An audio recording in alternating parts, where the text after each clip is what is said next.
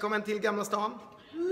Du möter ni oss här idag. Vi har eh, precis sett lite rep. Yes, det har vi. Det har vi och eh, det här skulle nog kunna vara typ det bästa tv-program jag har sett i hela mitt liv. Ja, jag är, verkligen bara, jag är bara helt, helt tagen. Det är liksom så här, det är liksom, man tänkte att det var så fruktansvärt bra semi och bara liksom, vad ska de göra? Men det här är ju, det här är liksom inte bara det bästa Eurovision-finalen jag sett, för det är det by a mile. Det här är ett av de bästa tv-program jag sett. Ja, ever. men jag tycker det är så Allting är så fruktansvärt bra. himla bra och det är så, bra- de har så bra timing, de är så extremt samspelta. Allt, om man tyckte att det var bra liksom program 1, då blev det bättre program 2. Men idag är det så liksom världsklass. De är Ja, helt amazing. Och jag älskar att de får så mycket utrymme båda två. Att det Ja. liksom är så här, att det inte bara ska komma in och presentera utan det är verkligen Måns Palooza emellanåt. Och och Petra. Petra är ju liksom the star verkligen. När hon tar emot poängen här mot, mot slutet Ja. så är det verkligen så här. Det är, det är one man show liksom. Ja. Och publiken bara älskar det. Och det finns vid något tillfälle så finns det ett litet skämt, jag vet inte om det kommer vara kvar imorgon, där Måns pratar om sina fans som kallas monsters. Och så ska Petra kontra med ett skämt där. Det är bara det att när Petra säger mina fans så bara exploderar. Globen och det blir liksom inte tyst. För att det är så här Nej, det är bara- helt Det sjukt. är bara så tv-underhållning som liksom inte har gjorts tidigare. Nej, verkligen inte. Och jag kan liksom inte, jag kan inte komma på någonting annat som jag någonsin har sett som har varit bättre och som jag har berörts lika nej. mycket av. Nej, det är så, liksom- jag bara här- jag gråter och skrattar. Bara, det liksom som, en- sen är vi, man är ju lite skör kan jag säga så här. Men, Minst men, sagt. Jag började gråta idag när Frans repade på eftermiddagen. Ska vi prata lite om Frans kan vi göra förresten. Han, jag tyckte han var fantastisk idag på juryrepet och det är ju ganska viktigt för det det här de ser honom för första gången.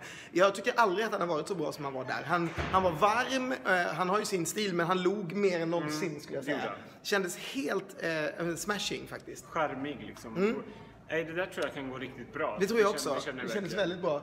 Eh, plus att det är lite roligt, Justin Timberlake som dyker upp sen stannade till i green room och, och sa till Frans att han älskade hans låt. Men hur vet man? Hur Man man vet det för att vi har spioner bredvid Frans i green Ja, okej, room ja. som textar till Tobbe Ek, vår eh, kära frenemy, eh, ordagrant vad Justin Bieber sa när han sprang fram till Frans. Det var liksom mellan att Frans har stått och snackat lite med Monster, typ spanska Beret höll på att kissa på sig när hon insåg att, att Justin Timberlake stod en centimeter från henne.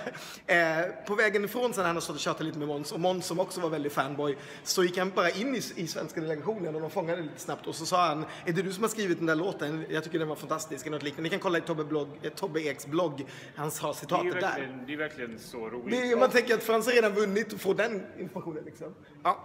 Ja, men, ja, nej, men jag, programmet kan vi ju säga, men ni får ju se det själva. Man vill inte spoila Man vill inte spoila för mycket, heller, men det är en fantastisk grej som leder upp till eh, Justin Timberlakes nummer skulle jag säga. Där man, där man eh, presenterade svenska musikundret Ja, som är smashing. ja, som är gjort av Jonas Åkerlund.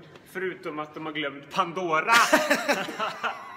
Alla är med utom, Utom Pandora. Pandora.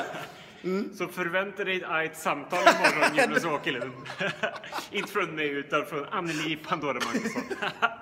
och hennes två fans. Nej, men eh, den tycker jag är smashing. Sen gör Måns en nya singel, vilket jag tycker var väldigt snyggt. Det känns ju ganska obligatoriskt, men jag tycker det såg rätt snyggt ut. Det tycker jag också. Det var en schysst. här originell Eh, grej. Det- En originell idé. Ja, Precis. Det enda jag tyckte var, kändes lite konstigt, men sen det fick det sin förklaring, det är att han har kostym på sig. Det känns fortfarande som att han är en programledare Ja, som det är gör, så. Men det fanns en idé där, ja. Men han, byter, han tar av sig och så blir det lite, lite, lite, lite mer leisure till, eh, Precis. till när han går över Heroes. Och eh, sen, ja, och sen är det ju då Justin som ni kommer få se imorgon. Det, det, då känns det ju plötsligt som att man är på någon sorts MTV-gala. Ja. Alltså man bara lyfter det. Och, eh, jag, vet, alltså, jag känner bara så här, gud, jag har ingen aning om det här, men man kan ju tänka sig att, att Eurovision och Mello, vet, jag vet ju i Mello att folk ringer artister varje år och vill få med dem och de vägrar göra det för Mello för att det är så töntigt.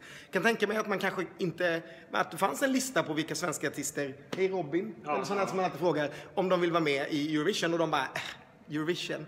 Och så får vi istället Justin Timberlake. Jag tycker det är sånt härligt finger upp i röven på kreddiga svenskar. Ja, och nu, det här, det, vadå, det, det kanske, Justin var kanske deras första alternativ, men det, det förändrar hela spelplanen. För vem vill inte vara med i ett program som Justin Timberlake Men har varit med i? det är verkligen helt på. Det, det var skitsnyggt. Eh, det var kul tycker jag. Men, men sen, Sen- kom ju liksom Precis. the, the, Shit. the shit liksom. Då, alltså, förlåt men Justin, Justin Bieber liksom Verona i förhållande. Justin Bieber. Justin Justin Timberlake. Det. Alltså, det, är ett- det är ett, tänk The Swedish Smorgasbord fast med liksom slag, eller Eurovision, Eurovision. allt i Eurovision och en bra låt i grunden. Ja, som inte är precis. en- Fredrik, Fredrik, en Fredrik Som Kempe-låt. inte är ett shownummer, utan det här är, det är ett shownummer men med Fredrik Kempe Det här- schlager Eurovision-låt. Ja, Det här är värsta slagen med big, big budget. skulle jag Det skrev jag precis vad jag skrev. Ja, det Det var verkligen det. Och med mycket mer finess i texten. Ja, ja, absolut. Men, Alltså, men det det, är här är liksom så här, vi ska inte spoila någonting av vad som händer, men det här är typ, det, det är det bästa jag har sett i TV ever kan jag säga. Som Eurovision-fan är det ju liksom helt Jag är helt sjukt. såld på det här. Det är helt vansinnigt snyggt, kul, bra, smart. Det är allt. Det finns ingenting som är fel i det här. det är bara nej. världens present och, det kommer ju liksom jättesent när vi har liksom så här sett allting och man tycker att så här, men det kan inte bli bättre. Och de, Nej, de ska nog ja. bara dela ut poängen nu och så kommer det liksom. Nej, Nej, nej det här det är bara, missa inte det här. Det är klart ni inte gör som tittar på det här, det är klart ni inte missar TV-programmet. Men eh, missa inte det här imorgon, då, då missar ni någonting kan jag säga. Det gör vi. Ha? Det gör de. Nu ska du springa iväg och jobba vidare halva natten och jag ska gå på Euroclub. Jag släpper iväg Ken för lite, för lite fri, fri tid på, För på lite, för lite fritt valt arbete på Euroclub. Håller, vet du vad, jag satt bredvid en spanjor idag förresten som eh, och han körde köta hela tiden under tiden som programmet gick. Men efter en stund så tittade han på min dator och insåg att, vi var, att jag var en av schlagerprofilerna och blev helt lycklig för att han hade följt oss i hela sant? år. Ja, Det var jättegulligt. Gud, gud, så jag bara, jag, vadå Justin Timberlake? Här sitter jag med min fan. Det är också en annan grej. vi får vara lite självgoda ibland. Eller man får vara, det är svenskt att vara så här. Det är inte självgott utan det är bara så kul att höra. Men vi, vi har varit på Euroclub varenda natt. Typ, och vi har varit där alla kvällar Ja, utom en. ja, Ja, vilket är helt vansinnigt. Och så sover man så här si och så många timmar. Det är ett tag redan. Men att folk kommer fram till oss Ja, och det säger så är här. så jävla härligt. Ett, blir- att de läser det vi skriver. Jag kan inte säga det utan att grina, så känslig är jag. Men, men just att så här, folk kommer fram och säger hur bra vi är och det... Nej, jag kan inte